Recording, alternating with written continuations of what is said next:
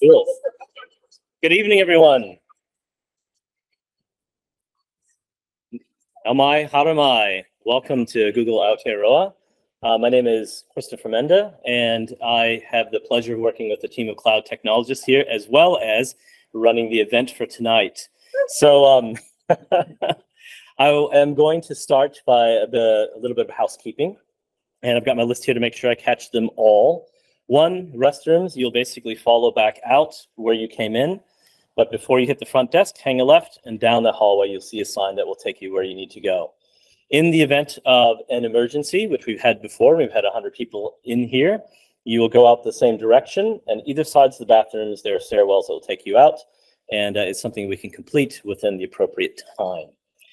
Now, the other thing that I do want to also uh, highlight is for name tags, please make sure that we always keep them visible.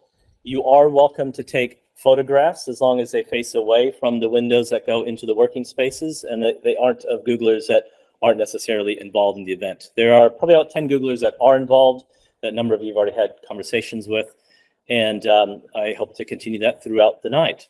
So now it is my pleasure to hand over to Google New Zealand Director, Caroline Rainsford. Kia ora, tēnā koutou, tēnā koutou, tēnā, toto katoa. Te manawa tū, te manawa ora, te Māori tū, te Māori ora, haumie, huie, tai huie. Welcome everyone to our Google New Zealand home, our first purpose-built office here in New Zealand, which we opened in August 2021. And speaking to a few of you tonight, this is for many of you your first visit of both Google coming to New Zealand, but also New Zealand embracing all that Google has to offer. Now, there's no better way of doing that than presenting the four beautiful terrains that we have in New Zealand, from our beautiful mountain landscapes in the back of the office, right through to New Zealand's beautiful beaches, here represented by the Paua meeting room. It's really wonderful to be here um, kicking off the official Tech Week. Um, because when we opened this office, we wanted this office to be really a hub where New Zealanders and New Zealand businesses could come to celebrate the incredible opportunities we have in technology and innovation. And that is exactly what Tech Week um, aspires to do, to really unlock the opportunities that we have now and into the future with technology and innovation. I want to say a special welcome to New Zealand Tech's Graeme Muller, the CEO, who will be addressing you shortly. And later on, Graeme will welcome the Honourable Ginny um, Andersen as well. And thank you to our group of panelists here tonight as well. I've been the proud leader of Google New Zealand for the last five years, and it's quite serendipitous to be standing here with you today because when I joined Google five years ago, the very first keynote that I did was for New Zealand Tech Week 2018, where I spoke about the incredible topic of AI. And I looked back actually earlier today on what I spoke about that. And I spoke about my very young children at the time embracing technology in a very natural and seamless way. And now my eight year old has certainly surpassed me with her digital prowess. Um, but I spoke about the incredible progress that we were making in the field of artificial intelligence, how it was enabling us to solve some of the world's biggest people challenges as Google, but also making sure that we were enabling the developer community and other organizations to really embrace um, artificial intelligence and what it could mean for the world. So Google is now seven years into our journey as an AI first company, and we're at an absolute inflection point. Our CEO has said that AI is going to be more profound than electricity. And it was just last week that we presented our um, infamous Google I/O event, where we showcase our very latest technology, predominantly to the developer community. Because being a very open source company, we believe that we need to enable the developer, developer community so that we can all thrive with together with the potential for AI. So over the last week, we have announced many profound um, challenges, but also profound opportunities that will come from AI. And of course, our very, um, very profound investment in generative AI with our um, BARD generative language model that has been launched in March. So um, if you haven't, please take a look at those announcements. But tonight, I just wanted to welcome you all. Enjoy your evening. Look forward to talking to you many as the evening progresses. And now I'll hand over to Graeme. Thanks, Graeme.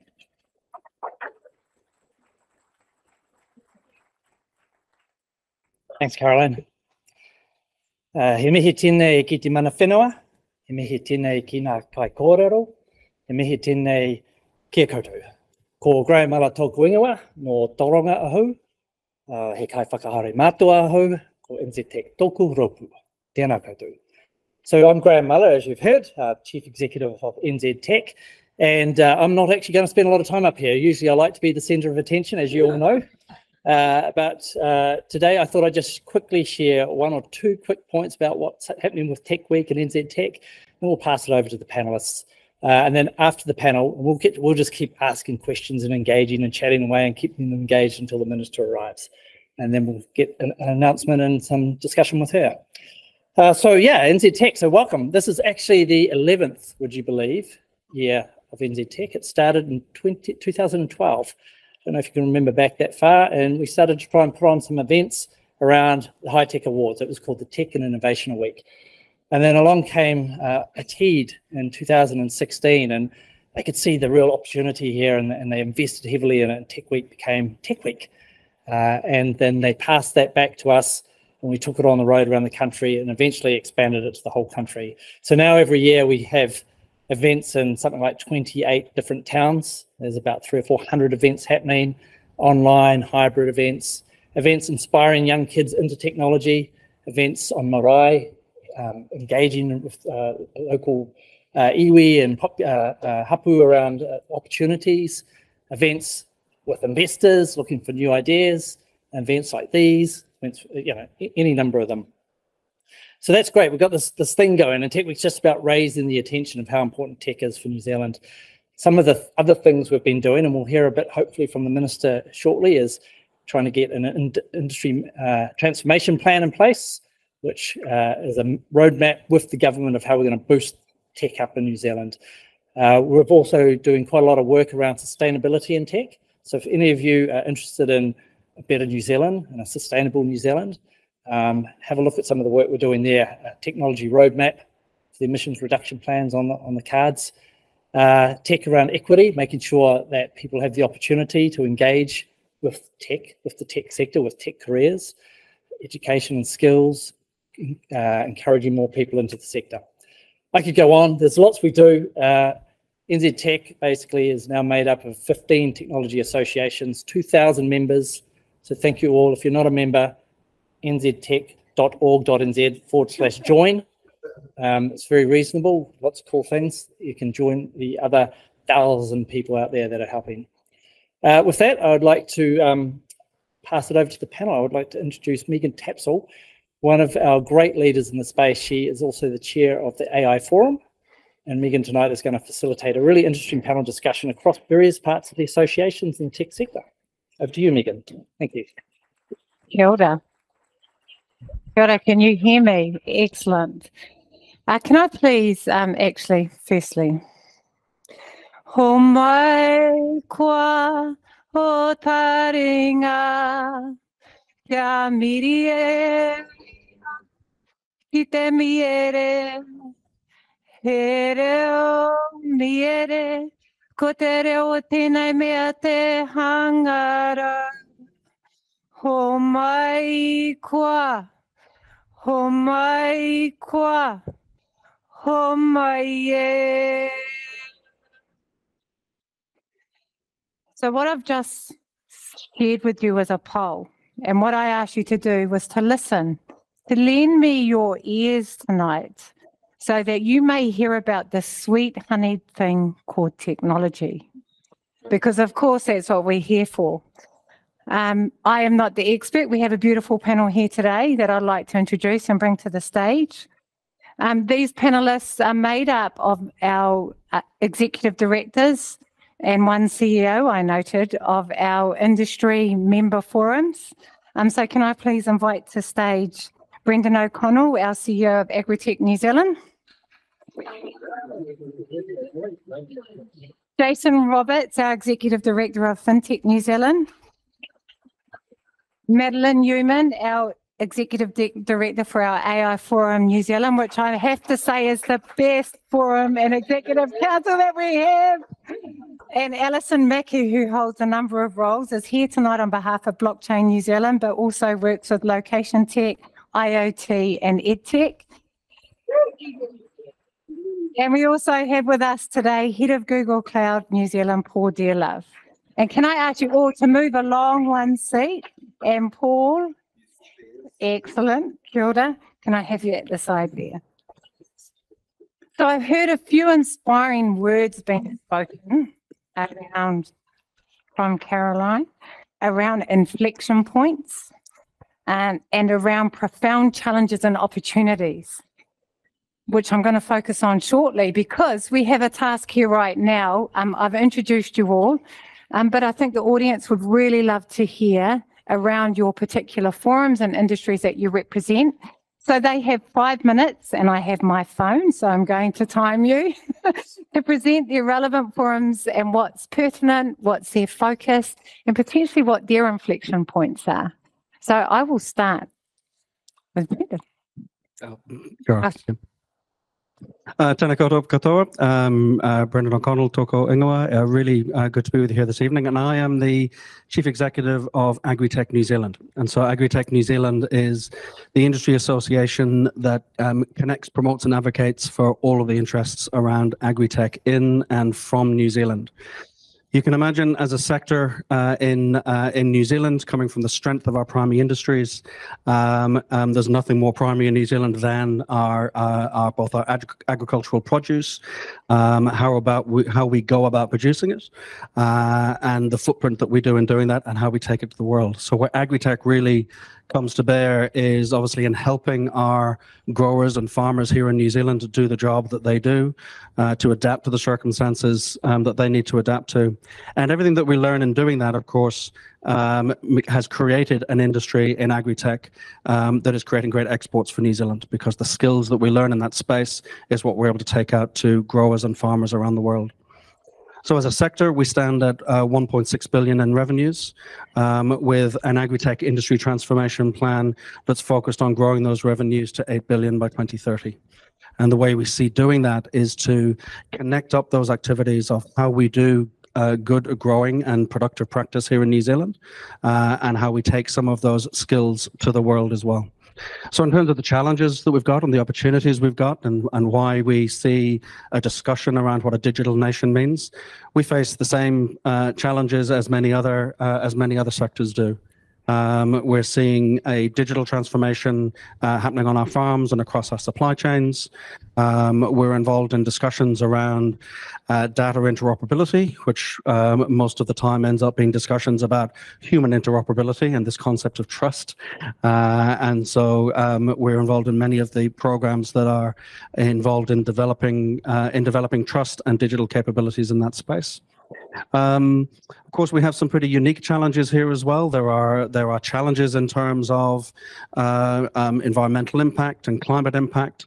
Uh, and many of the tools and services required to address those things, both here and both how and how we learn to do it here and take it to the world, are involving digital technologies, being able to uh, to report, being able to uh, be able to measure, and being able to bring that to um, to bear in many of the decisions that are made from a policy perspective uh, and from a global positioning for New Zealand as a country. Again, both in terms of our our food and produce, but also in the methods we use and the footprints we make in food and produce, and how we can take that how we can take that to the world. Um, so I'm sure we're going to cover lots of other topics, and we'll uncover even more interconnections. But those are those are some. The one the one thing I I would mention is you know I mean, because agriculture is so uh, definitive here in New Zealand. You know, some of the largest databases here um, that have been growing for more than 50 years include things like our genetic improvement databases. And so, you know, it's already a sector that is strongly digitally driven. Um, it's gained uh, its its place in the world through strong strong digital tools, uh, and yet we're coming across shared problems when we look at and shared opportunities when we talk to other sectors around what happens in this in this uh, digital transformations. You actually have two more minutes if you want to keep going, but I'm happy to take the microphone from you. I think we'll use the time when we shared time. Excellent. Um, kia ora, thank you, Brendan. And actually, if you didn't, if you can't tell, Brendan's hugely passionate around the industry and has been a excellent advocate for agri-tech and what they're doing. Um, and I think that reflects really well. Um, so actually, I'm going to pass it over to Alison. Alison, if you could uh, share about blockchain. I also might just cover off a little bit because five minutes. You've got an, yeah, well, you've got seven minutes right now. So I, okay. I'm the kid at NZ Tech that does a lot of things, a lot of different things, but they all kind of intersect with each other. And I think that's one of the wonderful things about leading so many of the organizations. So just to cover off again, I'm Alison Mackey, Executive Director of Blockchain New Zealand, IoT Alliance, Location Tech, and EdTech. So I just want to give a little bit of love to EdTech at the moment because without education underpinning all of this, we would be nowhere. So I think that's one of the critical things that I always like to talk about is that education is key. And that doesn't necessarily mean our, stu- our school children, it's education throughout your life to become lifelong learners. So we need to start thinking about things like micro credentials and looking at how do we upskill our current staff so that they're prepared for things like AI taking over or blockchain. Nice segue into my next topic of conversation, which is blockchain. So currently, this ecosystem has completely flourished and dipped and flourished again and dipped. Um, it's currently we're in a bear cycle, and that's fine financially.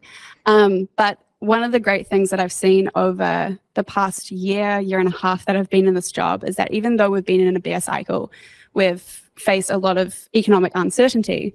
The number of Web3 and blockchain companies that are coming out of New Zealand that are hitting incredible revenue numbers is something we should all be taking notice of for the economic impact. So it's a little bit of something there. Um, but yeah, I think to start, does everyone understand what Web3 is? Yeah, good. Okay. For those that don't know, um, back in the 90s, so 1990 um, to about 2004, we hit the internet of Web 1, so that was read only. Then with the likes of Google and YouTube and things like that, thank you for hosting us today, guys. um, we came about with read write internet, which brought out e-commerce. Fantastic. What's the issue with that? Data is being housed by one network or one platform. So now with the introduction of blockchain, cryptocurrencies, NFTs, digital assets that are decentralized and distributed, um, we're coming into an age of Web3, which is read, write, and own. So now we're moving into this new era of the internet where we're starting to have ownership of what we put online. Where do we house our money? Where do we hold our assets? So I think that's something that's really interesting and kind of intersects mm. a lot more than just cryptocurrencies. Um, gosh, what else?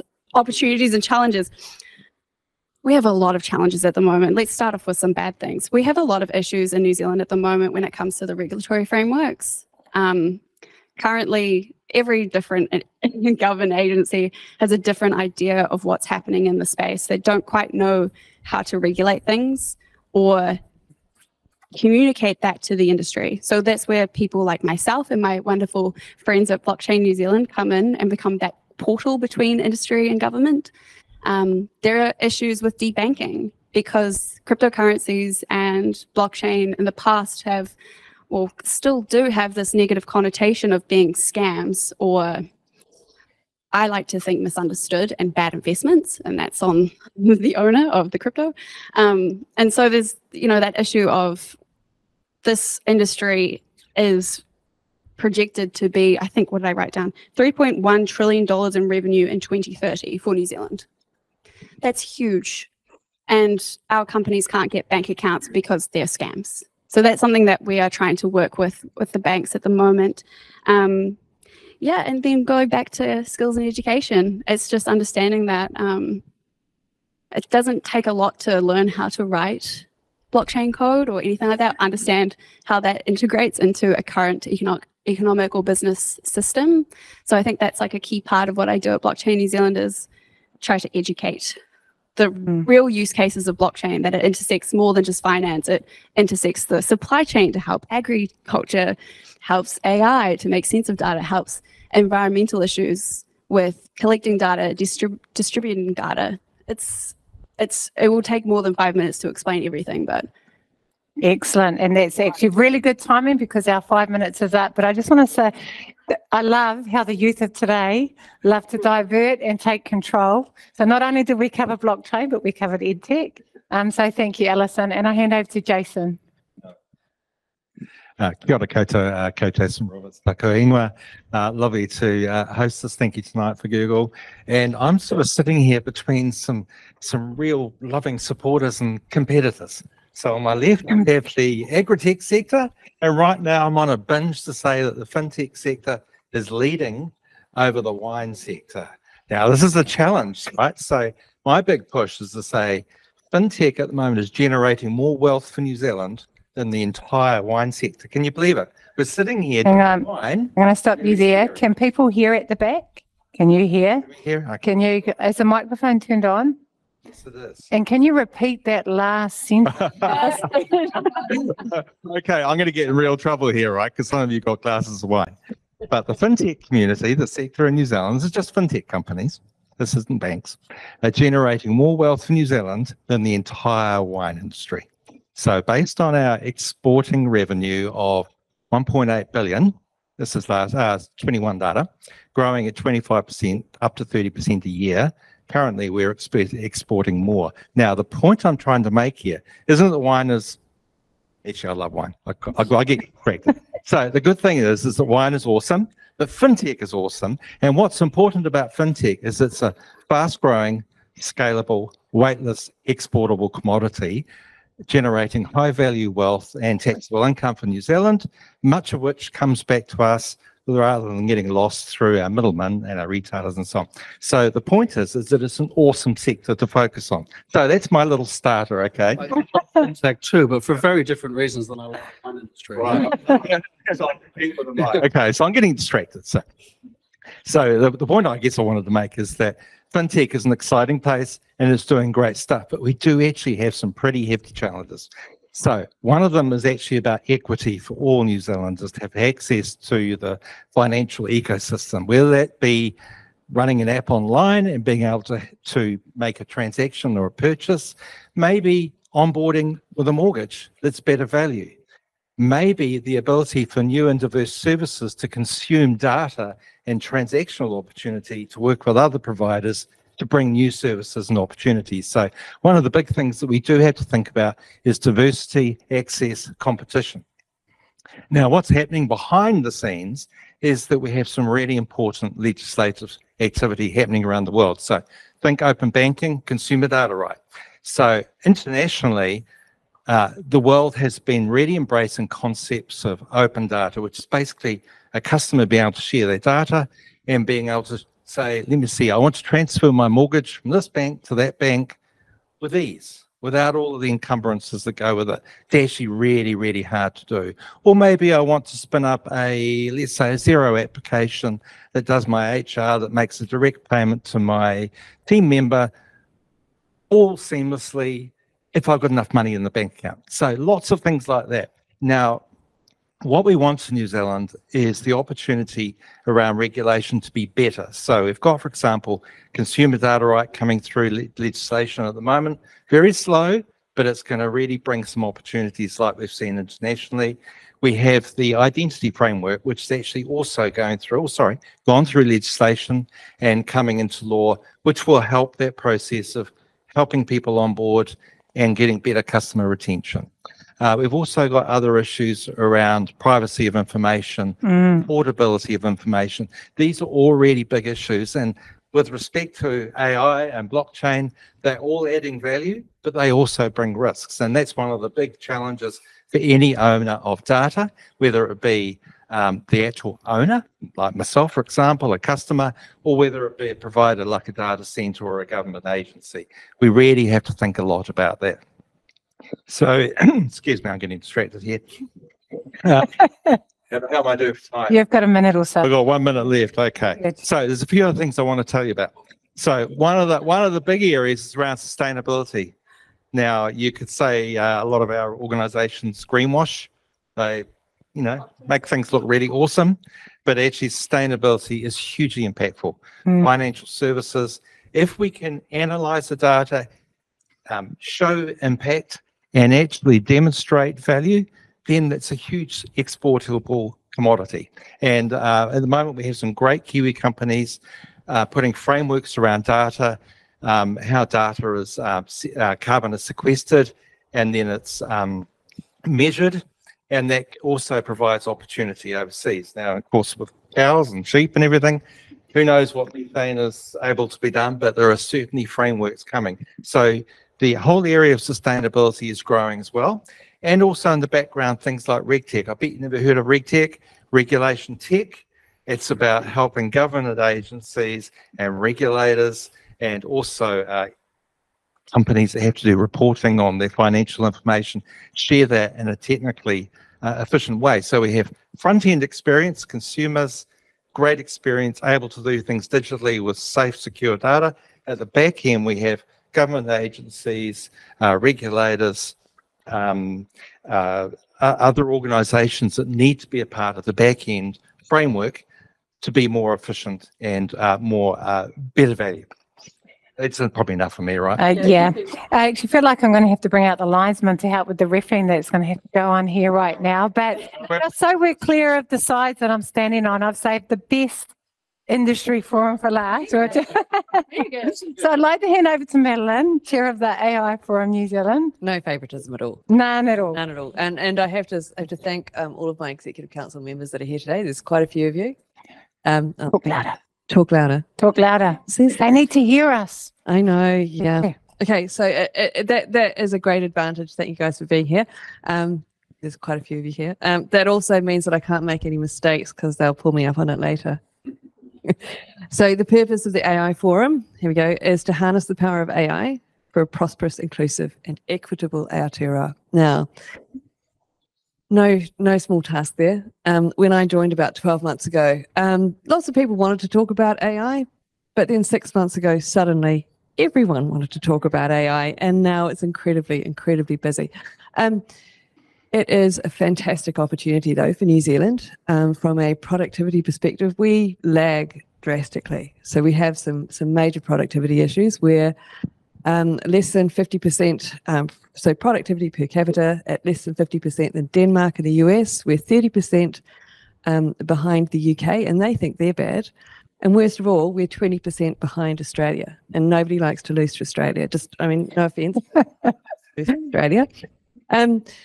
Now, AI is something that can help us um, to address that productivity gap, and I think it's um, it's becoming more and more um, evident.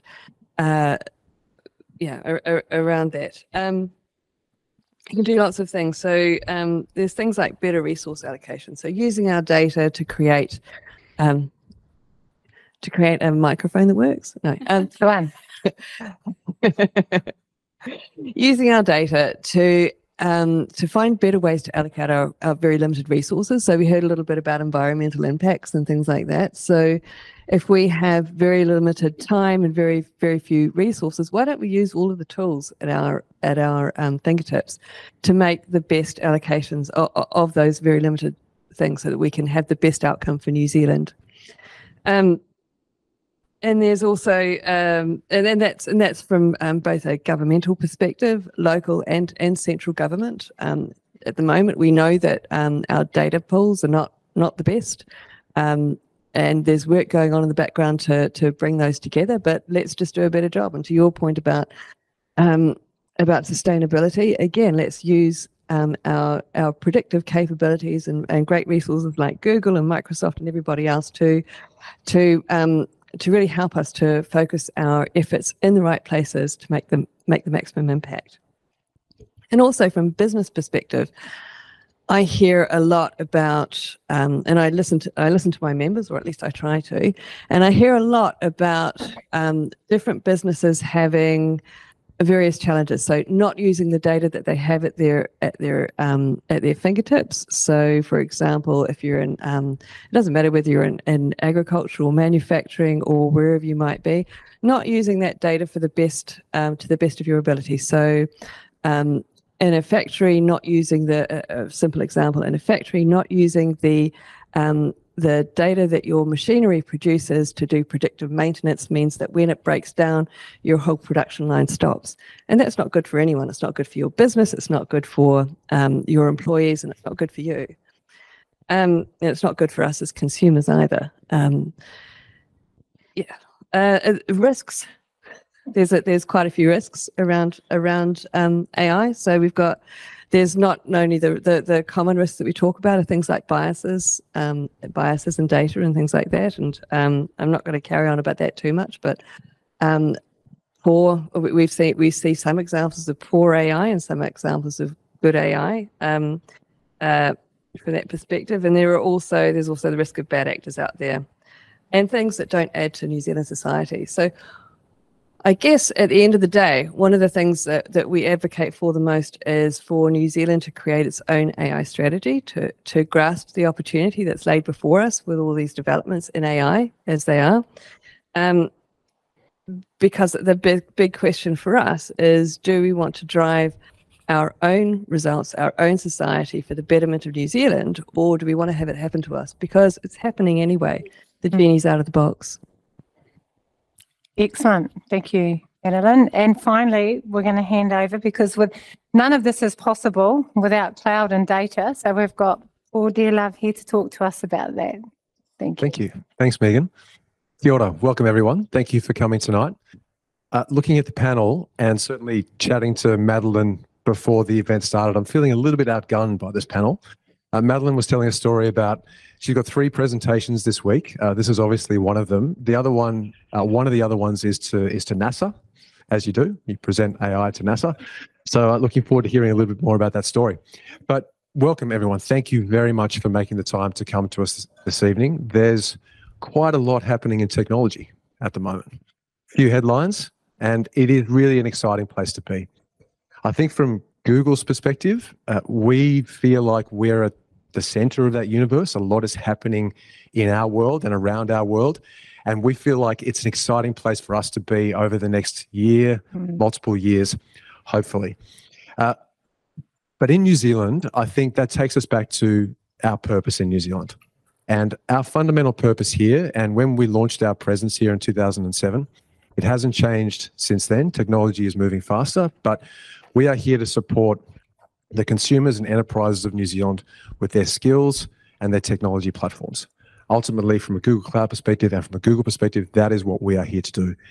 And I think if you look at who we engage with, and Alison, I love the fact that you raised EdTech, really keen to, to talk a little bit about that. But we work at the big end of town. So the foodstuffs, the NZMEs, uh, we support startups. So Parkables and the Kamis. And Kami is a really interesting story. So four and a half thousand percent growth over the past three years. What a phenomenal story for New Zealand. 180 countries, 37 million members on that platform. So for Google to have even supported a little bit of that growth, that's that's enormously exciting for us and something that we're proud of. Uh, we're also proud of the offices that you see around you. So in 2021, as Caro mentioned before, we moved into these offices. And if you haven't had a tour, uh, I promise you it is worth your time. The little nuances, the little details that you'll find through here, both for the local community, for Google, and for Aotearoa as a as a country, it is it's a really special place for us. Uh, so 2021, we came into these offices. 2021 was also a big year for us because we launched our local engineering presence. So coming back to developing the skills, which I'm sure we're going to hear about on this panel, developing the skills in New Zealand, bringing an engineering presence to New Zealand is something that we're enormously proud of. And in 2022, we announced our region. So Google is bringing and investing in a cloud region for New Zealand. Hugely, hugely exciting. So when we think about those big customers I mentioned before, the startups, uh, it's also the edtechs. It's those teachers that are using Google Workspace and Google for Education and Chromebooks to educate the students and the talent of the future that are going to work in all of our industries and all of your industries. That's also something that we're phenomenally proud of. So uh, I'm going to get out of the way and get back to the panel. I think that's less than five minutes, but we are really, really proud to be supporting Kiwis, consumers, and enterprises with digital skills and digital technology. And uh, and we do want to talk a little bit about startups, but I'll leave that for a little bit later. Good, I thank you, Paul, and I do want to acknowledge Google for having us here tonight. Um, it, it is actually a beautiful office, um, and I'll take you up on that tour too. Um, excellent, thank you, and thank you for the summary of all those amazing industry tech associations that are actually doing some really great stuff, and I get to evidence the activity that is happening um, kind of real time and I'm incredibly proud to be part of them as, as we really do try to focus on Aotearoa and what we can be doing from the tech industry. And the good news, Alison, as you were talking about regulation earlier, there's going to be a minister here later. So uh, please take that opportunity to um, to speak. And I think that's something for all our room to, to focus on. The other thing I just want to point out is we are waiting for the minister to turn up and it could be half an hour, it could be longer. So there's going to be ample of opportunity for questions. So please do, if you've got any burning questions, um, put your hand up even while I'm chatting, because I'm happy to come out to the audience and, and have questions as we go along to make this quite an interactive conversation. Um, but to kick things off, um, New Zealand is a digital economy. We are a digital economy. How we benchmark against the other OECD countries, though? Um, and I just really like to run along the panel to think from your particular associations, how are we doing against the rest of the world? It's a big question. Um, I think for blockchain specifically, sorry, oh, I know I'm terrible. I think for blockchain specifically, um, I think that we used to be very fast at adopting things, especially in the finance phase. But somehow with blockchain and crypto and all that sort of stuff, we I feel like we're trailing behind the slugs a little bit. Um, and I feel like we often have to look at Australia and Singapore and seeing what they're doing before we even think about approaching the subject.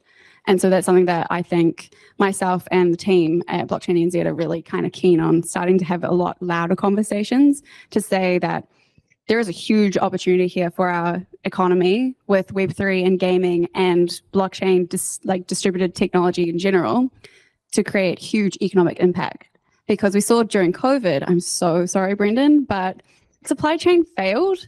And now with climate change, floods, all these. well, you, I know, but it's agriculture, darling. I'm so sorry.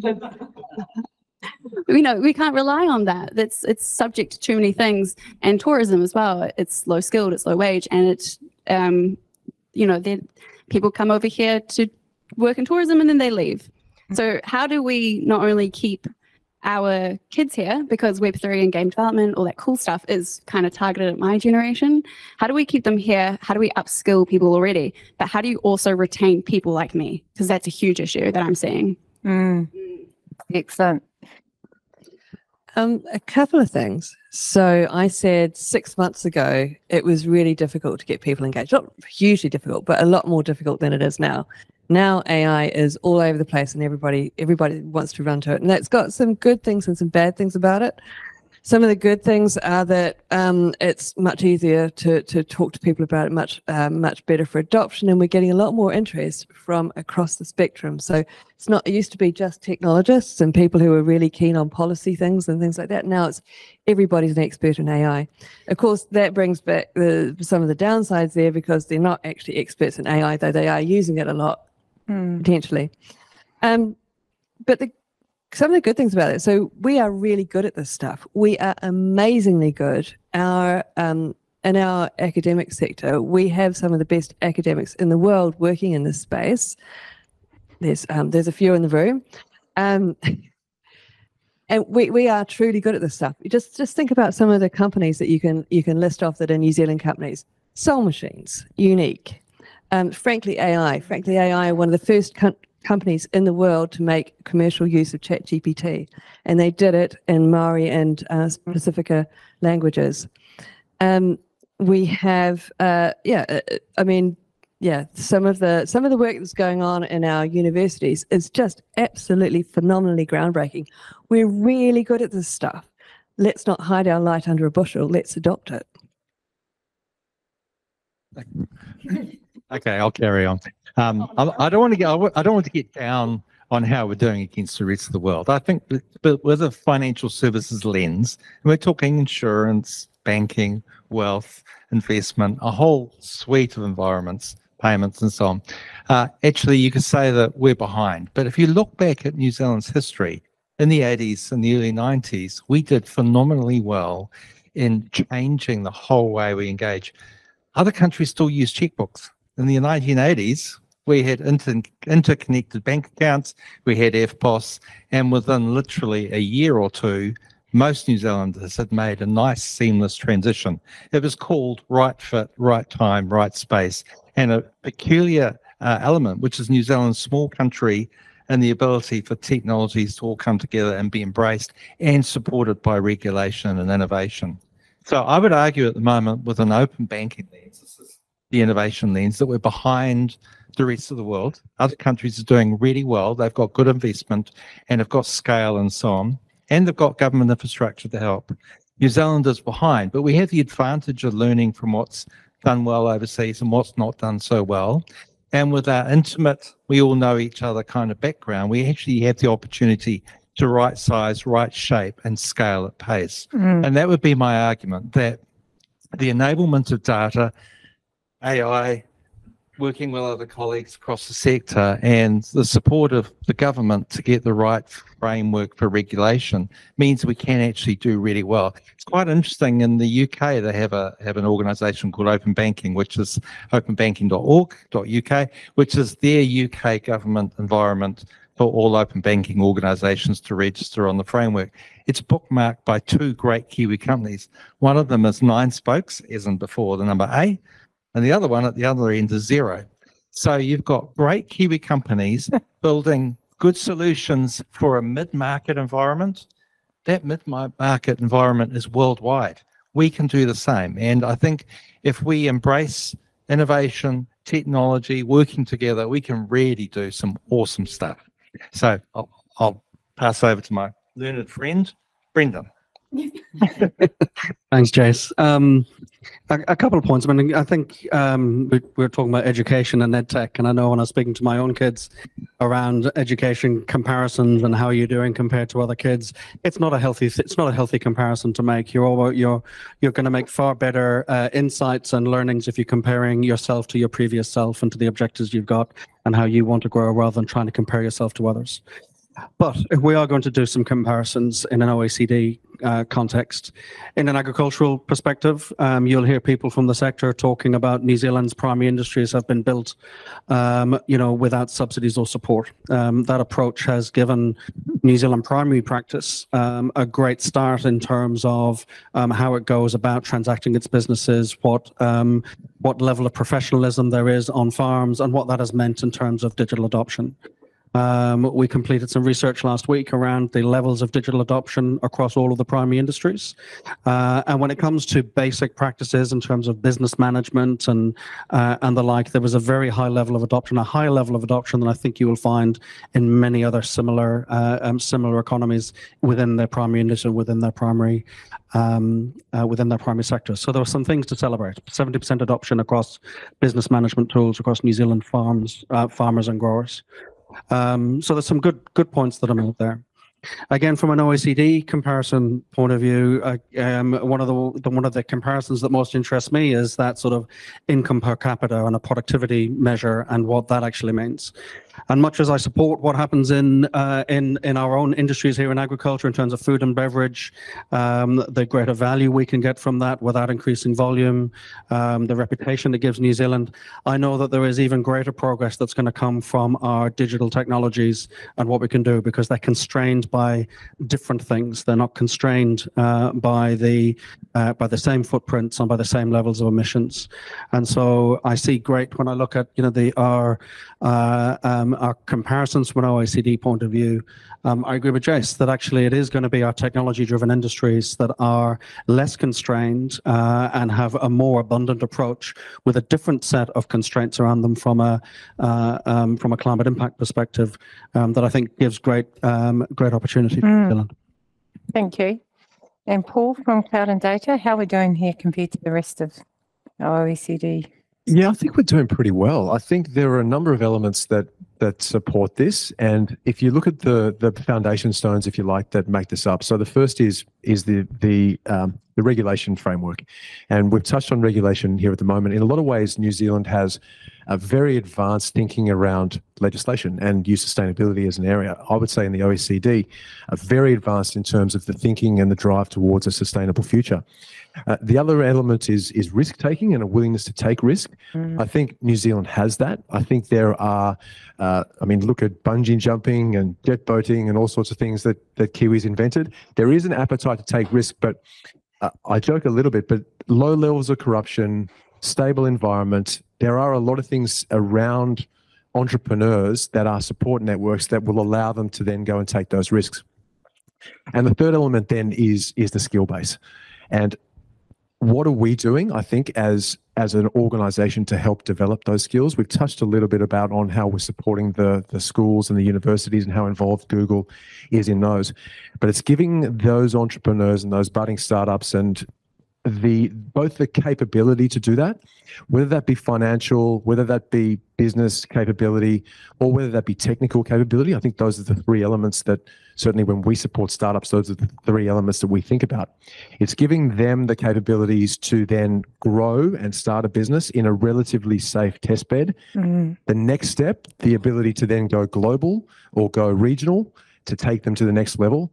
That i think is where uh, the government and some legislation needs to needs to support those entrepreneurs because New Zealand is a relative to the OECD countries a relatively small market. The ability to get into the US and into Europe and others that's where New Zealand companies turn into global behemoths. Yeah, no, that's an excellent point, actually. It's a really good segue into the next question that I have here. And we've mentioned strategy or lack of for, for some of our industries um, and regulation. So, um, how can our digital strategy for Aotearoa and the digi- digi- digital industry transformation plan shift the dial for each of our particular technology or, or fields? And I'm going to start with fintech, actually. So, Jason, I'm going. We're going to give you the mic. You give me the really hard one, haven't you? I have. Give me the question again. So we've got we've got a digital strategy and the Yeah. digital industry transformation plan. How can how can we leverage it to shift the dial in fintech? Right. That's a real hard one. Okay, so education really matters. I think we've covered that. We all know that um, more digitally enabled people, particularly our, our, our rangatahi coming through, they bring massive change and then the ability for uh, others across society to get involved. If you look at the digital uh, industry transformation plan, if you look on the website at the moment, it has one page of we'd like to do this, not much else really, to be honest. Um, and that's because it's about to be announced. And the digital uh, implementation plan is really going to the spirit of communities working together. It's the ability to embrace technology, embrace the skills, build capability and capacity across the sector, and with a fintech lens, to bring that through into uh, the various environments that we have that we want to play. Um, but we're not alone. We're not in isolation. Uh, whilst financial services obviously um, really impactful, we can't do that without education. We can't do that without the support of governments and regulation. We can't do it without investment. We can't do it without um, an economy that is supported to to really help that happen. And you know, whether thinking of the export lens, which is so important to uh, fintech, uh, the likes of NZTE, Callaghan Investment, um, all of the other government agencies, um, say startup programs and so on, they all help us build capability. And if the ITP, the transformation plan, helps us with that, then that's a really important thing. But I think ultimately it's around togetherness and, and, and the mahi of coming together. That's what we need to really embrace. Mm, excellent. Um, Brendan, I know that there's a lot in the agri sector and, and that you've been focused on from that perspective. What's your view? David Downs over here in, invented the three letters ITP uh, many many years ago. He won't accept responsibility for that. But I guess there is a there is a perspective from the agri-tech sector, just simp- in, in terms of specifically around the industry transformation um, plan and uh, as as uh, an opportunity for related interests to come together and look at, at look at how they can work together to grow a particular sector. So Agritech was the first of the uh, industry transformation uh, plans to be defined. It was launched in July 2020 by David and the agencies that he was representing at that time, and Agritech New Zealand was the industry partner that was helping that process.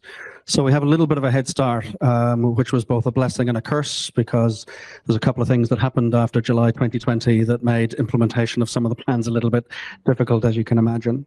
But when I think of what initiatives like that really mean, um, the language that we're now using two years on um, is is what's the concept of a smart ecosystem. Um, so an ecosystem obviously is something that just exists a room like this with various relationships as they sit and whatever for whatever reasons. I guess a smart ecosystem is one that's not setting some shared goals and looking at collaborative practice together in terms of growing that sector. And we're seeing that happen more and more in the agri-tech sector. Um, and I think a lot of that has been because of the the shared identity that we've got that um, that effectively there are shared interests here and we're all in it together, uh, and the shared aspirations about levels of, of growth and impact that we really want to that we really want to have. When I look at agri-tech ecosystems overseas over the last four or five years and see how they're different from how things have been structured here in New Zealand, it's been encouraging to see some transformations happen during that period in the agri-tech space. So specifically in internationally, when you're looking in um, uh, in any ecosystem, but it is definitely the case in the agri-tech ecosystem, so the use of technology within growing systems, um, there was a very large role played by um, large multinationals, the Bayer Crop Science, the BASFs, the Cargills, or the Syngentas.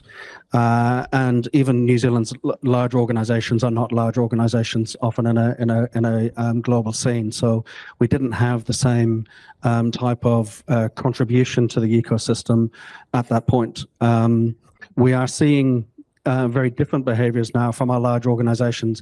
I guess another in the in the agri space, uh, another factor around our large organizations, be that they, they aren't as large as some of those other ecosystems, and a big cooperative impact here as well. Those other cooperatives had a certain impact in the agri-tech space.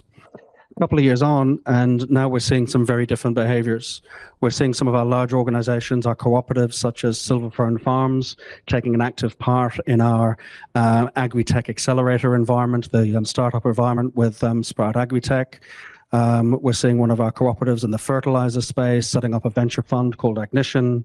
Um, we're seeing our large privately owned businesses like Gallagher realizing that not all of their investments can be done, not all of their R and D can be done internally, so they're externalizing their R and D and doing active investments. And I think a lot of those type of changes is people sort of um, looking and behaving as sort of what is a smart ecosystem? How do we actually share the work in um, uh, in growing a sector together? Um, and that's what I think the industry transformation plans have enabled. I think we've only just started. We're in the agri-tech sense. We've uh, we're just about to launch. Um, we've just finished consultation, and we'll launch the uh, the next wave of work programs for the agri-tech ITP um, at our big industry event in uh, in Field Days uh, next month. Um, but for me, it's a lot about. I mean, we you know, we can start throwing around the word collaboration here and, and try and understand what that really means. But for me, it comes together as having some shared goals, some shared ambitions, and starting to act as a smart ecosystem. And that's what I hope for the work that we will contribute to in the digital um, ITP as well. Mm, excellent. I'm going to come to you shortly, Paul, because I'm really interested to hear what an organisation like Google can play in that space. I mean, I picked up smart ecosystem, community, connection. Um, but before we get to you, I just like Madeline, from an AI perspective and from our our forum, how's the digital industry transformation plan playing out for us in the digital strategy? Um, at the moment, it's still in draft form, and we don't have um, any clear answers. But what I can say is that there's lots of stuff happening on the ground. So, just because the digital IP ITP hasn't landed yet, and that may change today, and just because we don't have an AI strategy per se, doesn't mean that there's nothing happening on the ground. And there are, there are. And I, a big shout out to the guys at um, Callaghan Innovation, who Mm. are working tirelessly to give us practical examples and develop practical examples of how this stuff can be done. Um, and there's other areas within the economy as well. So, for example, health, there's some really, really good stuff happening. And AI is one of those tool sets where it can be reused in different situations. And there's a really nice couple of examples um, out there of where things like um, uh, the same technology that you use to clean up film can be used to clean up um, an X-ray. So um, there's a really good example of Sector, who's a, they're a startup run by an eminent um, radiologist because he wants to do better better work for the people that come to see him, so for his patients. He's not trying to replace himself. We just simply don't have enough radiologists in New Zealand. Um, and he wants to make better decisions faster for people. Um, so he's using AI to help him clean up and identify um, cases that he needs to look at. Um, so you get your yes no answer much quicker. Um, is there something to worry about or not? No or yes. And if yes, then you get to see somebody faster. And from a health perspective, if you're sitting on a waiting list, that's really important. And I think there's lots of really practical examples like that that um, that are happening in the background anyway. And it's organisations like Callaghan, like Precision Driven Health, that have helped things like that that to happen, um, and um, and helping to make our, I guess, our specialists superhuman. Uh, there are other ITPs out there, and the, and the whether they're um, uh, you know, there's I know there's construction and forestry, and they're all coming to the fore, and they're starting that we're starting to deliver things off the back of those. Um, and I always like to think of it as, um, oh, I guess my partner said this when we when we came back to New Zealand after 20 years away, and he was like, "Oh, New Zealand's four to five years behind everyone else," and then he was like, "Ah, New Zealand's four to five years behind everyone else." So there's a lot of opportunity and looking at what's happened elsewhere and taking the best of it, and not maybe maybe not making all the same mistakes. Excellent. Um, Alison, this, and act- actually, I'm going to ask one more question, then I'm going to come to the audience. So please get yourselves ready after this. What happened to my rearing for this question? You can pick Whatever one. one I pick want. one. Yes, go. Hmm. Blockchain isn't really well understood for the ITP. Um, it could fit. I could try and make it fit, but it's not understood yet. Um, uh, IoT though, the idea of Industry 4.0 hits so many different things. Of you know, IoT is this beautiful data collection point, and what do we need to do with this absolute data swamp that IoT creates? It needs AI to make sense of the data so that we can make great decisions and do a better job at having productivity, I guess. So I think that's something that we've been kind of dipping our toes in. Not all the time. We're not as big as agri-tech. We don't get our own plan, um, but we do intersect across the board with IoT. In terms of edtech, obviously, um, we don't have a whole industry transformation plan, but um, we've been working with the Minister of Education on the digital strategy refresh, which should be ready for launch very soon. I'm very excited about that. And that's kind of diving into the entire curriculum and how do we uplift digital um, equity, digital skills, digital understanding, not just for our students, but again for all all of us. So Excellent. very excited about that. Yeah. Thank you. Great. Paul, what's Google doing for us? well, firstly, who'd be a regulator? I mean, you can't please everybody. There are so many different industries you need to please. It's, it's like being a rugby league referee and and CEOs of telcos telling you that you're you're not doing the right thing. But it's really tough space. So regulating all these different industries and finding the right framework is hard. Uh, Google did a bit of work with one of our partners and released our economic um, impact report, and this this showed that if uh, if digital transformation is done right, it can create up to $46 billion in annual economic savings by 2030. That's a big number, 46 billion. And you think about the building blocks that, that Google and, and data and others provide, that's mobile internet, that's cloud computing, that's IoT, that's AI, that's all the things that Google, uh, we do reasonably well and we're trying to bring to, to the consumers and to the enterprises of New Zealand. Uh, there is one other thing that, that, in terms of the way that we're working with government. So, some of you may be aware. Has anyone heard of Checkable? Digital Boost Alliance. Hands up, Checkable. Anyone? Okay. Geez, not very many hands. So, any small business owners? Anyone know anyone that runs a small business? Okay. So, MB, uh, in association with the Digital Boost Alliance, have built a tool called Checkable, and that's in conjunction with us. And Checkable is basically a digital health check. So you can see what your digital presence looks like, and it'll give you an action plan based on you know, Google properties and otherwise for you to increase your digital presence. So I look at that and think all the small and medium enterprises across New Zealand have access to a free tool, this free checkable tool, where they can at least go and see what digital presence looks like. Hmm. And as we know, and COVID proved, digital presence is so, so important, and it's still going to remain important. So it's a big space for us. Uh, I do sympathize with the regulators, but there's a lot of technology that can support this. Excellent, good. And actually, so one one final question from me. Um, our minister's not too far away, so um, we've sat here and we've drawn on or compared. I've asked you to compare how we're doing on a from a global perspective, but I'm really keen to understand what we're all doing from an association and organisation perspective, uh, and drawing on our own unique country point of view. So, what are your associations doing to reflect or address Te Ao Māori or our Te Ao Māori perspective on things around making your organisations and us unique on a global platform? Can I start with Ed? Yes, go. Because of course, EdTech just is just the best. Let's agree to that. Um, so our purpose, thanks, Shane. Um, our previous chair. Um, EdTech is all about our overarching purpose is to bring awareness to educational technology, and underneath that we have. Um, oh no, it's not. Awareness is only part of it. Equity is our overarching purpose, and underneath that is export and um, awareness. And so it's awareness of these educational technologies um, from an equitable perspective. And so we lead up a lot of Te Reo Māori activities with that, um, as well as export, because although there's a little bit of an issue in New Zealand with the Ministry of Education and procurement and allowing our products and services into our own classrooms. That's a different topic of conversation. However, a lot of our products here are catered to our students.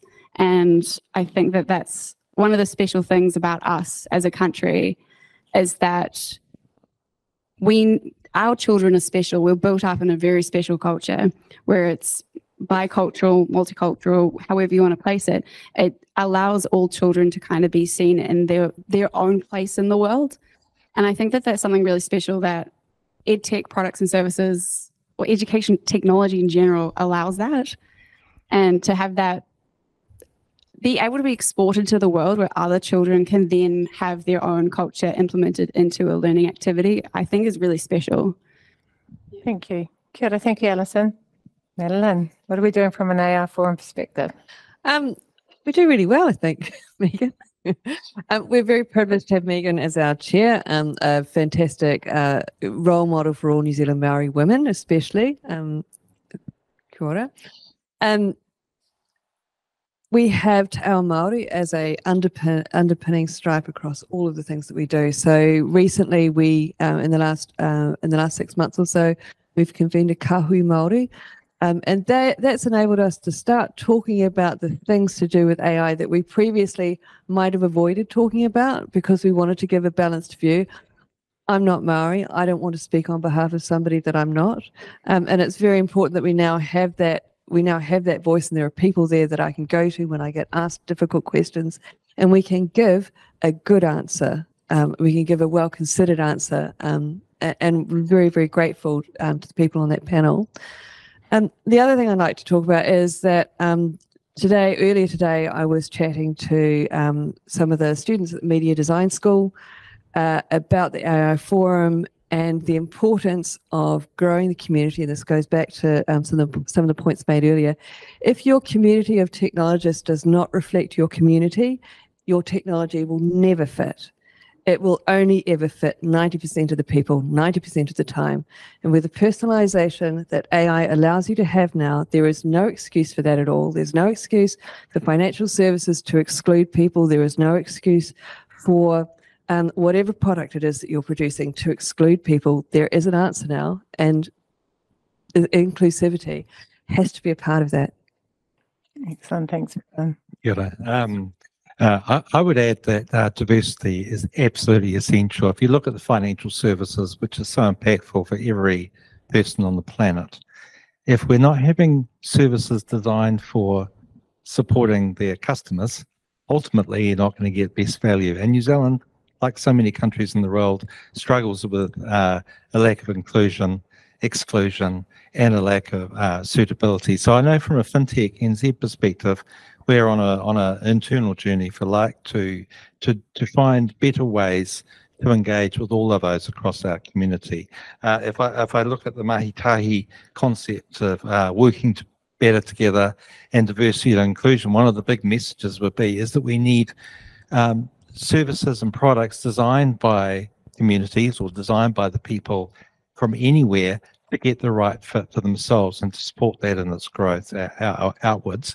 And, and I know for us, when we did the research project uh, the year before last uh, on diversity and inclusion of financial services, it was really clear that we need to do work, uh, a lot more work around inclusion, particularly for Maori and Pasifika. And, and that's one of our important goals. Mm. Uh, and behind that, uh, growth, access to export markets, and the ability to uh, get the right fit for our marketplace out to the world. Because if we get it diverse here, we can actually really help get access to a marketplace internationally. One hundred percent. That's around building that unique product that, that we can we can take to the market. Brendan, I think when you're talking about whether it's a digital nation or you're just talking about an, a nation as a whole, you really need to understand some realities about yourself and some opportunities, and they include both strengths and weaknesses. And you know, I look at New Zealand is always going to be small, and New Zealand is always going to be isolated. Now, there's real advantages um, in that in terms of things that we can do here, things that we can trial and prove here. When it comes to uh, um, agri-tech, agriculture, how we grow food, and the Te Ao Māori perspective and the real value that that brings, there's nothing more uh, than food production that needs the insights that come from um, an intergenerational view and a, and a holistic view to how you do go about doing that. And so I think Te Ao Māori is a uh, a massive part of New Zealand's uniqueness and its and its um, opportunity both to do things well here um, and to take that to the world. Um, and so I think Te Ao Māori is, is fundamental from Agritech New Zealand's point of view. We're obviously working with Maori landowners who are using technology and testing technologies in different way, and Maori innovators as well who are looking at those technologies themselves. So a massively important part of New Zealand's both current reality and our future potential. excellent. And Paul, from a Google perspective, No, I really like what Brendan said there. I think that uh, that wraps it up. I mean, from a Google perspective, w- we feel an enormous sense of responsibility. So if you think about our platforms, our platforms are the way that a lot of people will find information, will search for information, and the information that they get needs to be trusted. I mean, we talked about trust a little bit before. So there's an enormous sense of responsibility that we have to deliver trusted information and also to support uh, communities that might not have the same advantages as other communities. So both from a from a Google perspective in the way that people search and, and gather information, but also from a cloud perspective. So bringing the region to New Zealand, that lets us address things like Maori data sovereignty and, Mhm. and other challenges about that that's um, that community feels important to them. Uh, it's an area that I think everybody in New Zealand and all of our organisations can do better and will continue to do better.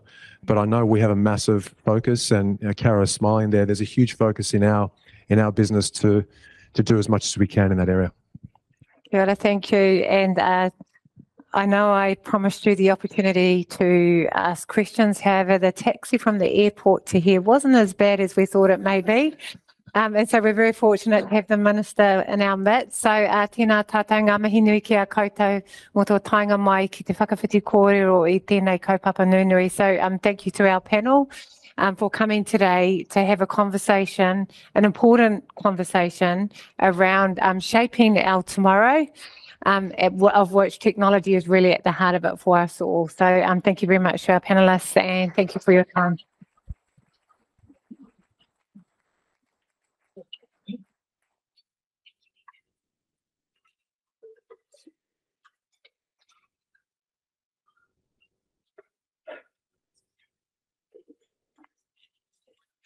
Thank you, Megan. That was awesome. Thank you very much. And uh, the team, thank you. It's always nice to know what you do on your days. And, uh, and Paul, uh, thank you. It's good to hear some more from Google. I've, it's a great pleasure. I have the great pleasure of introducing the Honourable Ginny Andersen. Uh, in this sense, she's the Minister of the Digital Economy and Communications. She's also the Minister of plenty of other things, but today we're focused on the digital economy. She's also the MP for Hutt South, and uh, and I, we thank her very much for coming all the way after a busy morning in Cabinet and uh, getting all the way up here uh, to help us launch Tech Week. Mr. Andersen, thank you.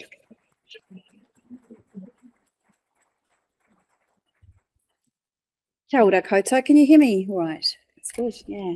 Uh, well, ko te mihi tuatahi ki te atua, nana nei ngā mea katoa, ko te mihi tuaroa ki te whare etu nei i tēnā koe, he mihi mahana ki a koutou katoa, nō reira tēnā koutou, tēnā koutou, hui hui mai tātou katoa. Kia ora, and thank you for having me. It's a real pleasure to be here again in an absolutely amazing building. I'm always blown away with how beautiful this building is. So a big thanks uh, to Google for hosting us.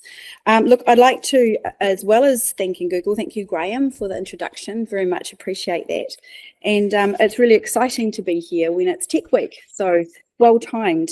Uh, I'm really always fascinated to see what new ideas are showcased through Tech Week and the great opportunities it provides for greater networking within the New Zealand tech ecosystem and how we can work together stronger. Uh, and I can see this this week's program uh, is jam packed full of great initiatives and different ideas to participate in. Uh, I'd like to acknowledge uh, everyone in the room as well as those who are tuning in virtually. So I know we've got those online. So uh, I'd just like to acknowledge all of those, whether you're working in the sector, whether you're creating, whether you're sector, sector leader, no matter what your role is, it's great to have uh, the level of uptake and engagement in, in this week and as part of that. Uh, and I hope people are getting involved in the events. There's a lot of work going on behind the scenes to coordinate such a comprehensive program. So I hope you take full advantage of all that hard work that's gone in behind the scenes. Uh, really interesting to catch the end of tonight's panel discussion. Always keen to hear those questions being asked, particularly around diversity and uh, how we incorporate all the richness of Māori culture and uh, tangata whenua and how we continue to evolve. And, and my view is that it's our cutting edge, it's our secret weapon in terms of if we can manage to integrate that uh, well in our skills, in our technology, in our development. Uh, a lot of that debate around um, how we shape up uh, data sovereignty in terms of a Māori perspective, a big way for me, I think, is just making sure we have a whole lot of young, talented Māori people employed in a whole range of different uh, creative industries right across New Zealand. Uh, and, um, and I'm always keen to have those conversations, how we can drive that further. Um, it's a sector that's contributed 7 billion per annum towards New Zealand's GDP. And that's a big reason of, of why we have an ITP specific to this space. It holds so much potential uh, for doing exactly what our government wants to do, which is to drive a high wage, low emissions economy. It's critical to our future. Uh, it's also a sector where we might find answers to some of the challenges that we see in terms of climate change, health, education, economic pr productivity. And we want to make sure that we're positioned well enough to take full advantage of what's coming next on the horizon. This is a government that's committed to supporting you grow sustainably and also to thrive, to recognise the creativity in this industry and make sure that we're partnering to take full advantage of that. It recognises that to have those high wages, to move towards that high wage, low emissions economy, then we really need to tackle some of our productivity issues. And this means unleashing the innovative potential of creativity of our businesses and our people, many of here who are today building the skills of the future.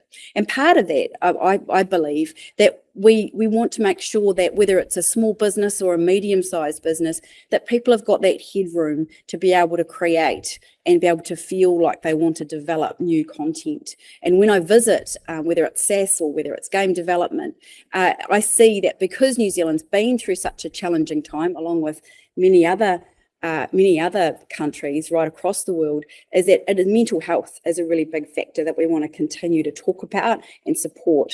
Uh, and it's always great to see workplaces that provide flexibility and support uh, to give those small businesses uh, the headroom to continue to be the creative edge that we know.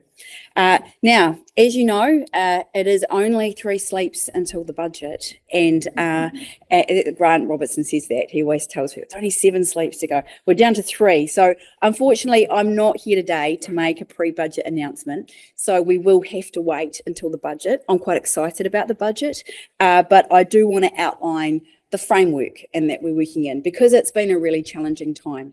Uh, I, whenever you, um, I, I, I, get fearful of mentioning COVID because I think it just triggers everybody's had some kind of really awful experience, whether it's a business it's a family member separated. It's been it's been an awful time, not just for us, uh, but for uh, for the entire world. And how we re- rebuild and make sure we take advantage of the strong financial position we're in is critical to how we how we go forward.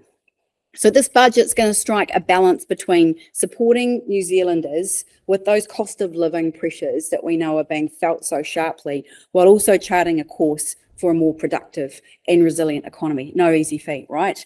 Uh, you've got a bit of short term and long term going on at the same time. So this year's budget is a wellbeing budget. It's a sixth budget delivered under the wellbeing framework. Uh, and we're also wanting uh, to really make sure we do what this ITP will hopefully work towards, which is delivering a higher wage economy. So the budget's been put together of yet another challenging circumstances. Uh, the elevated inflation, which has been added on by the impact of cyclone floods early in the year. And it's seen uh, government having to uh, reach into um, our back, back pockets and provide significant support to those regions who have been directly impacted, uh, particularly up the east coast. And just yesterday, you would have seen a, a $1 billion announcement in relation to uh, trains, schools, uh, all the, the basic building of uh, mental health, as well as I've mentioned.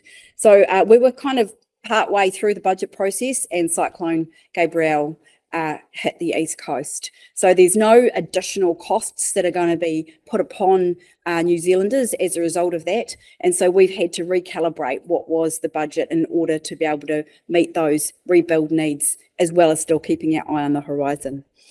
So the uh, the hundred million dollars, and as part of that one billion I, I, mentioned, is also on flood protection. So we're equipped to climate change and the continued challenges that we're going to be seeing.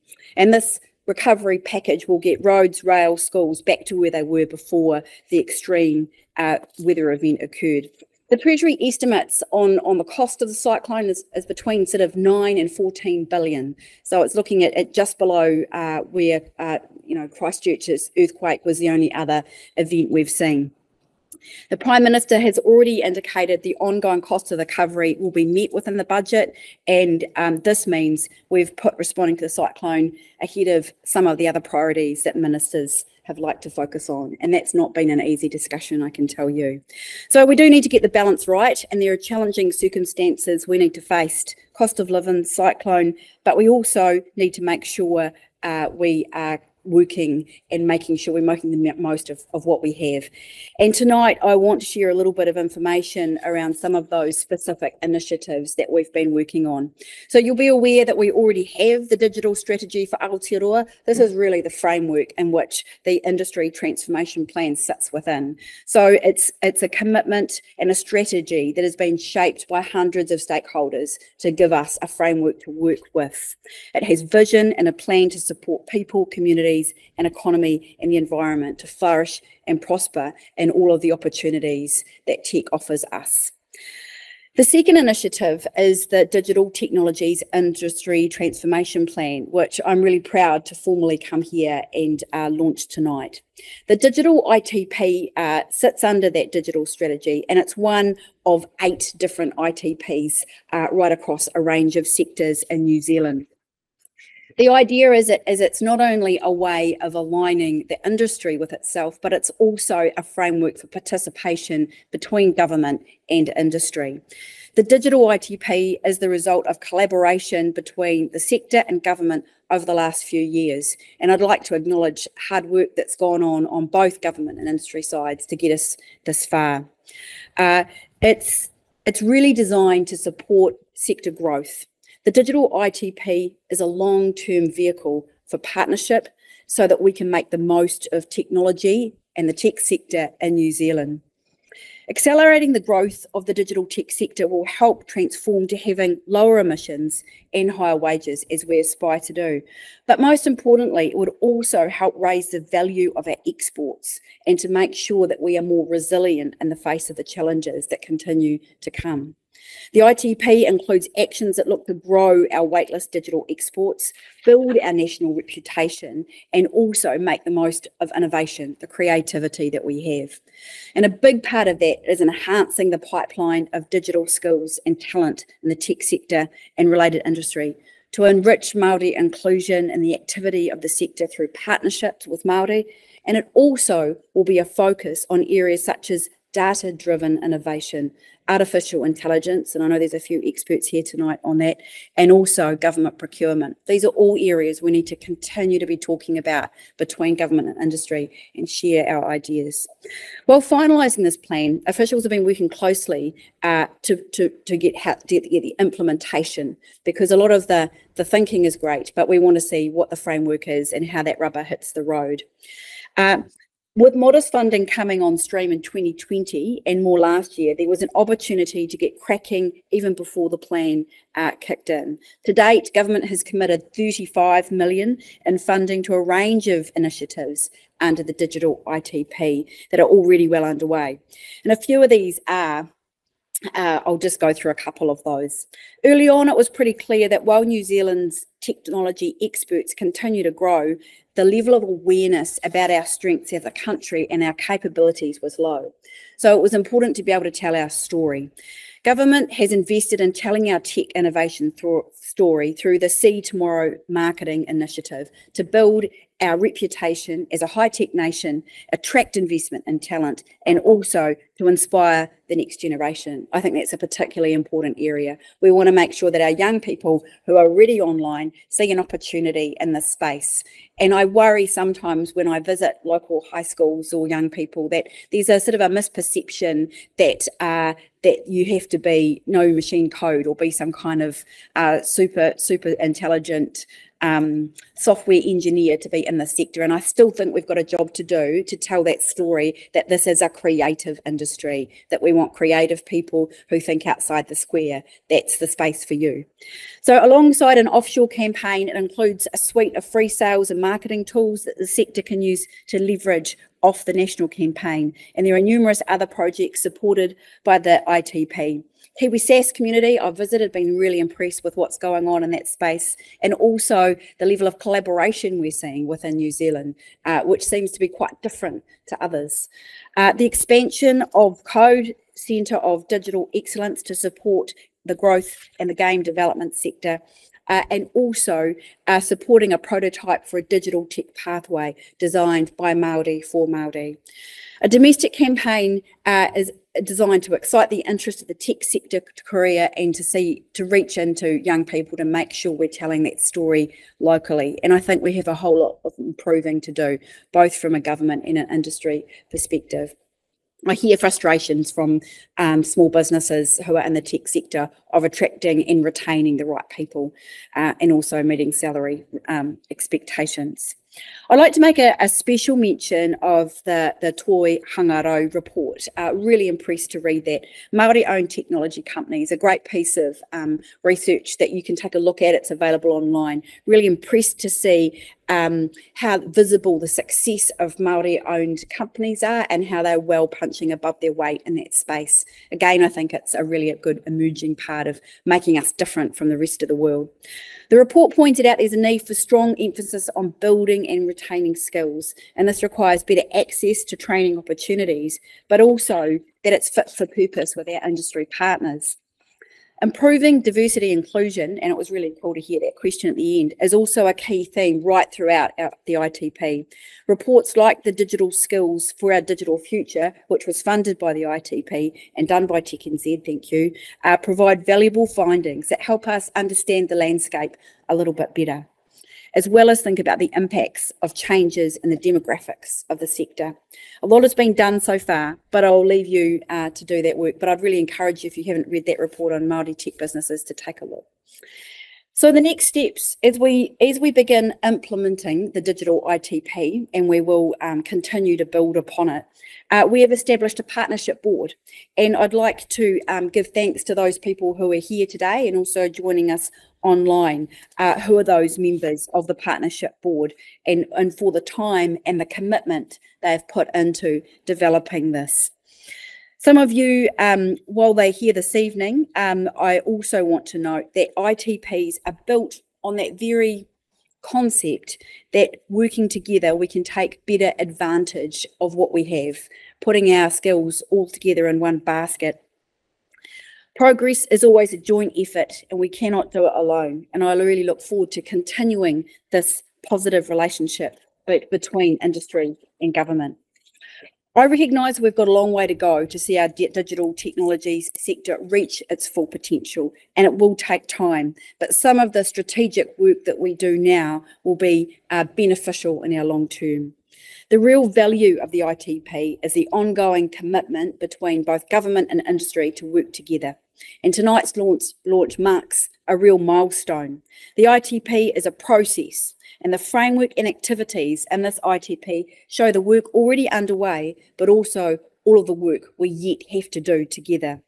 I'm committed to working alongside the industry to see the sector flourish and grow in the next year, as well as in the long term. I look forward to Budget Day, and I'm sure many of you will as well. Uh, and I look forward to keeping the momentum going. Um, I, I, guess I would like to close by saying I really see that this sector is one of the most creative and innovative sectors that New Zealand has.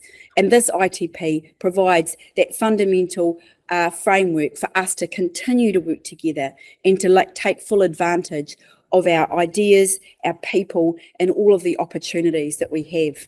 So I'd like to say thank you, and um, and you're more than welcome to ask me questions, even though you probably know all and more than than I do about tech stuff. So kia ora koutou, and, and thank you for having me.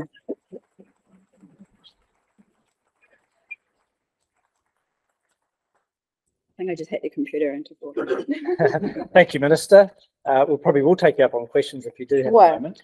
Um, and I'd just like to say on behalf of the tech ecosystem, the ITP has been a great framework to operate within for the last few years. It's really helped get a lot of things going and off the ground in those early investments.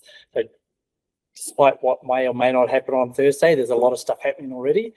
And uh, yeah, just so you're all aware, I think the, the collaboration across uh, various parts of the industry uh, and the and the government agencies has been amazing. And uh, we're actually seeing some of those things actually start to produce results already.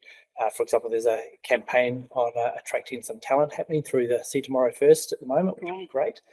Um, but questions, couple, couple of minutes for questions. There's a mic if you've got a quiet voice. Oh, you've nailed it. Yes, there's a question. Thank you very much for this. Yeah. Um, really one man from Xero. I just ask, so thank you for the outline of the ITP. Will there be anything that will help firms and small businesses overcome the time and financial cost in relating in, um, uh, translating and moving to a digital Uh, that's that's a good question. Look, that, that I think that for those things, that's what we want to be moving towards. So I put my head on as Minister for Small Business as well. And um, so digital, digital Boost has been really good. Uh, so that's been operating under MBIE to enable small businesses to get online. So that's it. We've kind of got the low hanging fruit from that. Anyone who was not online or using that's happened. But the next level up, I'm quite interested to have those conversations about what level of support is required and, and where would that be best placed. Uh, because I'm thinking a lot of the tech businesses are already pretty pretty savvy at that. So I guess that's where, where we can help more um, to make sure that people are taking full advantage of, of those those opportunities. I do know that it's been really interesting uh, that when we looked at those businesses that fared the best post COVID were ones that had a really strong online presence and were taking full full advantage of cloud and other technologies. So we want to encourage that. Yeah, and I think there was a piece of research from uh, Xero that came out today, seven point eight billion dollars of productivity gains with more Yeah. shifting those SMEs across into the cloud. So good work. All right, we've got the mic working, I think. Yep, we have. You must have some questions. Yes. Hi, uh, Ian Watson, University of Auckland. Uh, the US recently announced funding for, I think, seven new AI research institutes. AI has been in the news a bit the last few months. Uh, Britain's announced funding for a massive supercomputer for researchers, and I think the EU is going to do something similar. The basic idea is to make sure that AI is not just the privilege of, sorry, Google, big tech companies, and that AI researchers have access to the same tools. Um, look, it's it's fascinating. I've had to. Can you hear me? Can I talk without? Can you hear me without? I'm losing my voice a little bit. So, uh, look, it's been fascinating to watch the development. So things have just going so so fast. Uh, uh, and uh, I, the, the first point I would make is um, almost with my police hat on is that when you get a new thing, it can be used for good or bad, right? And you, you you're trying to figure out uh, what are the opportunities that we want to take full advantage of, but how do we get ahead of the misuse of a new tool? Uh, and so I think that's that's all the, the thought process. It's been fascinating to to watch that play out. We have really good discussions at an OECD level with our partners on how we can be working together and taking advantage. We don't have pockets like the U- US, obviously, but we do want to stay abreast of of um, making sure we've got the right framework in place. We've already got pretty good things in terms of the algorithms charter, so saying what's ethical or not. So that's a good starting point. But we do need to do some more work in terms of a wider framework for AI. My fear is that by the time we get someone uh, to, to draft that up, it's just changed, right? Uh, it, it's evolving so rapidly that you almost need some fundamental principles around ethics and use uh, that we agree to, and then it's just going to start changing uh, as soon as you uh, put in place a, a strategy. But look, it's something I keep a close eye on internationally and here, and I'm always keen to have advice on what people think uh, we should be doing more of. I think we have time for maybe one, two more questions. One back there. Ora. Hello, my name is Maria Mingayon, and um, I'm a member of the Executive Council of the AI Forum New Zealand. And I also work for Mott MacDonald, which is an engineering consultancy firm that works in the construction industry.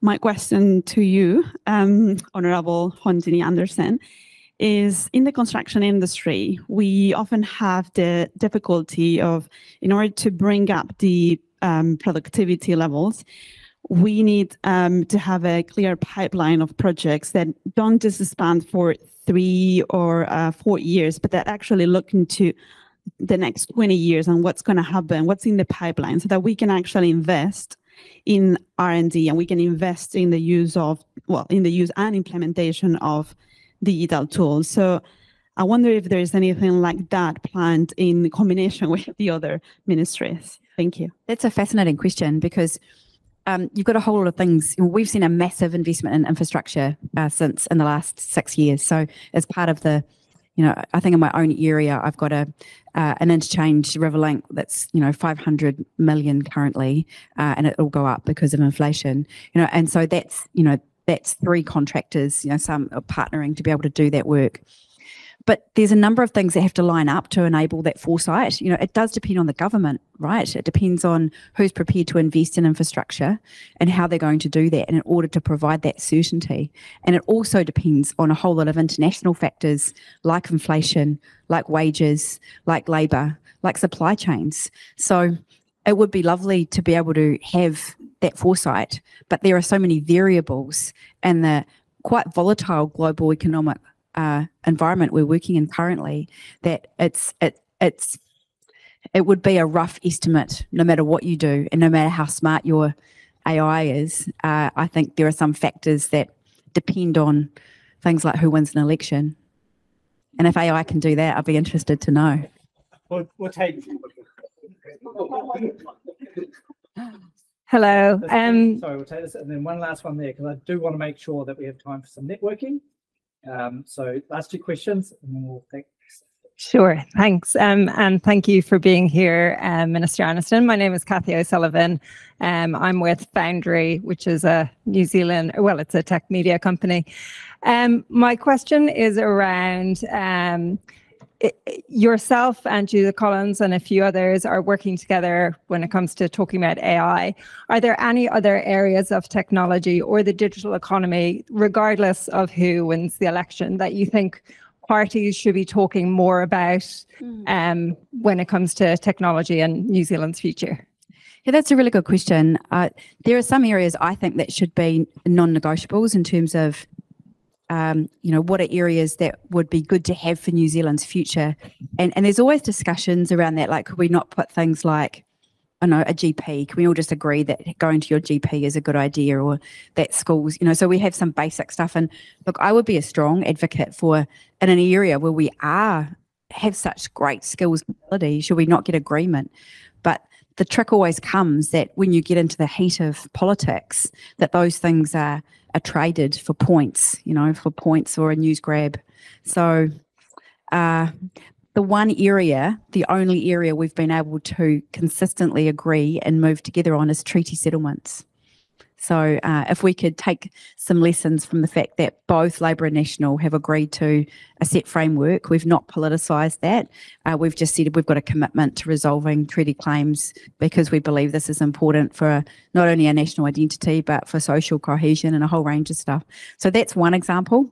All the rest, when it comes into the heat of, uh, you know, tax cuts versus uh, funding nurses and teachers, that just turns into um, into a debate where things are. So, and that's part of the adversarial nature of the political system. So, I'd be keen for that chat. I'll, I used to work for Judith when I worked in police, so maybe we'll have a chat and see where we can get to. Last question. Uh, Kia ora, Minister. Uh, Chris Claridge from the Trust Alliance Incorporated. Uh, first thing, first point is thank you for the Trust Identity Services Framework Act. Brilliant piece of legislation, world class. Brilliant thing that'll enable digital identities, verifiable credentials, and enable an import layer for the lady from the blockchain world. Um, the key question is is there going to be adequate resourcing applied to DIA to enable the rules framework to be put in place? Because it's arguably been underfunded and under resourced to enable it, and it's had to be pushed out to enable it to be actually executed in July next year. Will, and I'm not seeking an indication to an answer, but is there a recognition that resourcing and within DIA, it sounds strange to ask from the private sector to get resources Yeah. into government, be applied to enabling the act to be put into place? One of the areas I'm really, if I if I get the job back after the election, uh, uh, one of the the longer term goals I have is to have a wider integration across all the public service on how we do our tech, how we do things, because it is quite haphazard to be honest. And and MBIE actually could teach um, a few lessons in terms of how they've done a single business number. Like in terms of the one touch that we provide small businesses, we should be aspiring to do that same level for people accessing public services, no matter where they go to. So part of the problem is the budget cycle is that putting a bid in for one thing uh, when it gets weighed up with is cyclone more recovery more important than X or is Y or you know what is the thing? What I would like to evolve to, and I'm nowhere near it yet, is to actually have uh, a, way that we continue. These are structural. Uh, these go right across. They're not like a one-off vertical funding. They should be horizontal right across uh, government departments. And we, if we want to be, uh, if the government wants to stand up and talk to a private industry and talk about the importance of um, the, using the cloud, the importance of um, having um, uh, good uplift, on, not only your uplift in cloud, but cybersecurity, I believe that we need to be best practice in terms of our public service, and we've got a long way to go yet. And part of that is the politics and the budget cycle that prevents that longer term building of capability and saves money, to be frank, because you've got different departments doing different things. So, sorry, that was a very long winded way of answering the fact that I'll continue. I, it's important work we need to get done. but I think we also need to do things differently so that we don't see, um, uh, I guess, the bones of where we need to be in the future uh, are- aren't just sta- standalone budget bids; they are integrated into the way of we're doing things. So that's probably a really nerdy long way of answering it. Sorry. It's a great answer. And, uh, and I think it's, it's baked into things like the industry transforma- transformation plan and the digital strategy. So hopefully we can all advocate for those sorts of things, no matter who wins, keeps the uh, well, the aim is to stop fighting with Treasury. So if that sort of stuff is built in, then then then it like we don't have to do that. It's if we want to be small, nimble, smart, creative, amazing that we can be, things like that should be uh, said and done and, and agreed that that's there's multiple benefits, not for our sk- for our skills, for our, our industry, and all around. So it's a no brainer as far as I'm concerned. Well, I know everyone's got lots of questions they want to ask. It's now all your comfortable hands are going up, but I'm going to call it quits here. The Minister's had a very big day. She might like to join me for a glass of wine before she shoots off. I want to thank the Minister very much for the presentation, for launching and nailing that ITP. It's gone live. Excellent. Uh, and you all for coming. Thank you very much. Um, please join us for uh, a little bit more networking before you go. If you're viewing this from Tech Week TV, uh, sorry, never mind. Should have been here. With that, welcome to Tech Week. Thank you.